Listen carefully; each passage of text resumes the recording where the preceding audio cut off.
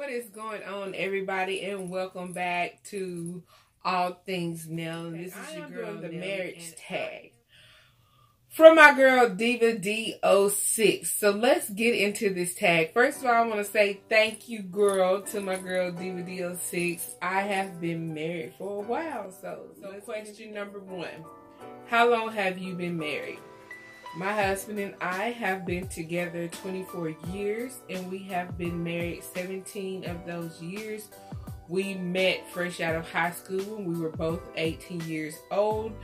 Um, we met, he knew the day that we met that we were going to get married. Yes, it is a certain thing as love at first sight. We met August the 24th 1994. Um, and we've been together since that day, like it's So moving on, how many kids do you have? We have currently th- three children. We've had four pregnancies and three children. How did we meet? Well, his cousin was my best friend. And he was the manager of McDonald's, which is where I worked. So like we live in a small town, so literally all his family worked there. Like, well, not all his family, but he had a couple of cousins that worked there. Two of them, which were my best friends. One was named Michael, one was named Angela, and he and Michael, were, Michael, were going to play basketball, and he introduced us. um, they, they came through drive-through, and he introduced us, and that was that. I mean he came back up there later on that night and um, that's how we met. Weird, right? So, is your spouse short or taller, shorter or taller than you? He is taller than me by about four to six inches. I'm five eight, and he's about um if he's not six feet, he's right at six feet tall, somewhere between five eleven and five twelve, maybe. So he's taller than me. I know if I put on heels, we eye to eye. So, how old were you when you first met? We were 18. He is a little older than me.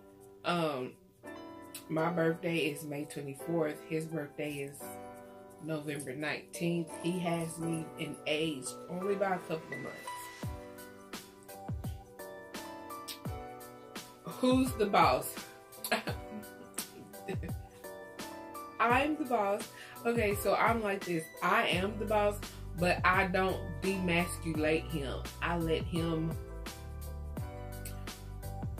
think he's the boss, I guess you could say. Like, I let him run things, and if it's something that he's not right about, I try not to demasculate demasculate him. I just say it in a way that lets him see it in a different light, where then he can be like, "Oh, okay."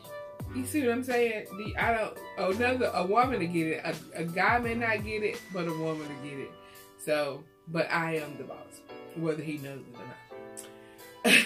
not. when you and your spouse fight, who apologizes first? Me.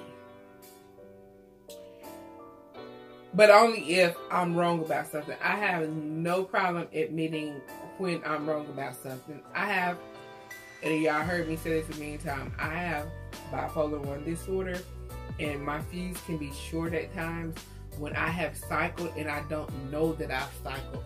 But I, through help from my therapist, I have learned to rethink a situation, reevaluate a situation, and just be like, you know, like play the situation back over my head and realize, you know what, you was wrong. And I can be the bigger person and say, you know what, I was wrong. I apologize. I shouldn't have said what I said. I should have did what I did. It was me, and I do apologize. Now, it does bother me sometimes that my husband never, like, he apologizes now, starting mid last year. He used to never apologize for anything. Like, he did no wrong. Now he does apologize more like he tries. So that means a lot to me. The fact that he does try and he does do better. So I thank him for that. Because if you if relationship is not 50-50, it's just not gonna work. You got to give something to get something. And it can't be 70% one area, you know, and 30 the next. It's got to be 50-50. It can't be 60-40. It has to be 50-50. And I appreciate him for that. Who's more on their phone? me. He's catching up with me though my husband is not a tech savvy person. He does not care about technology, but he has started to be on his phone more. Most of the time, if I'm holding my phone, he's holding his baby. I'm on two phones. one for the uh, plug and one for the hose.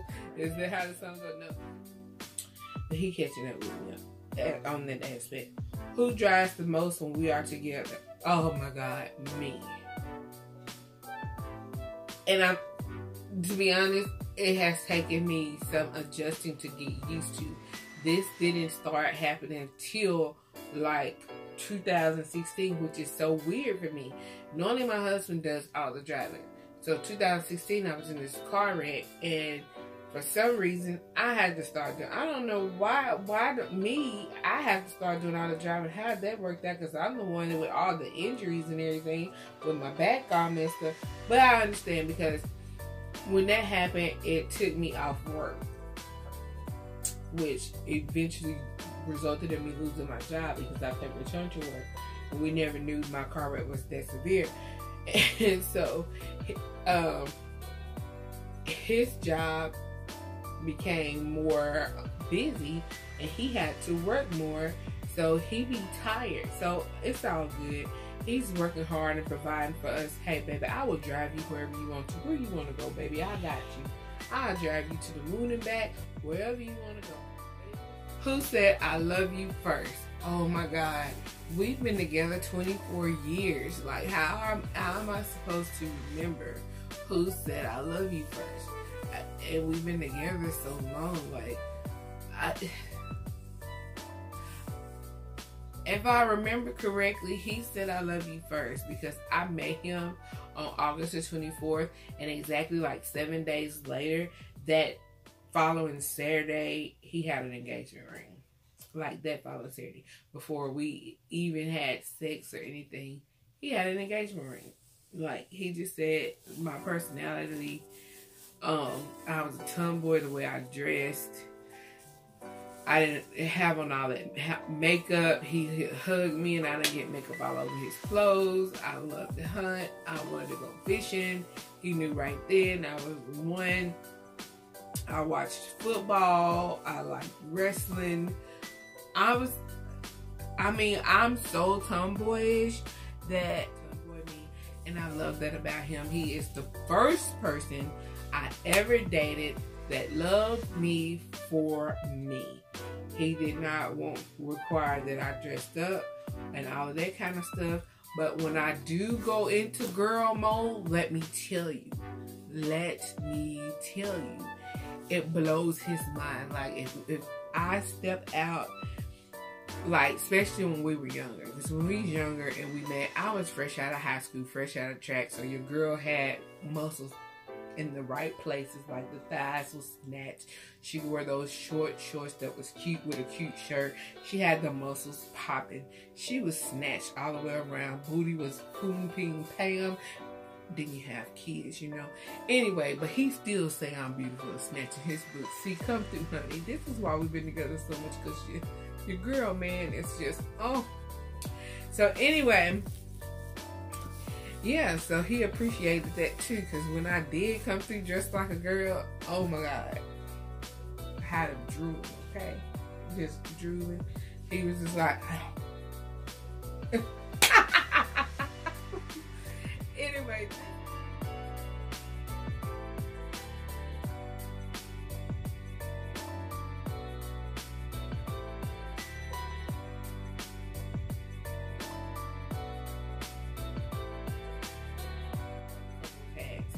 So I thank you guys for watching. Hugs. Hugs.